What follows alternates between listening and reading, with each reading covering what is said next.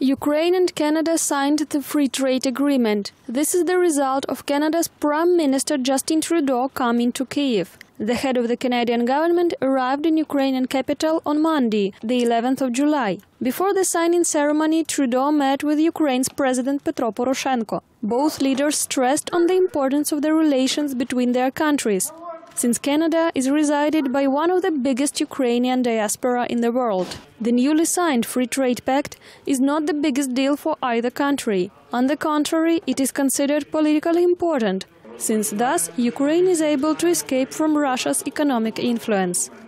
During the bilateral meeting, Poroshenko thanked Trudeau for the never-ending support Canada provides for Ukraine. That includes military and police trainers, as well as an expert assistance in combating corruption. Eventually, Justin Trudeau stressed upon the importance of Ukraine's territorial integrity, noticing Ottawa will never recognize neither Crimean annexation nor the war in Thank eastern. Ukraine Russia is constantly fueling.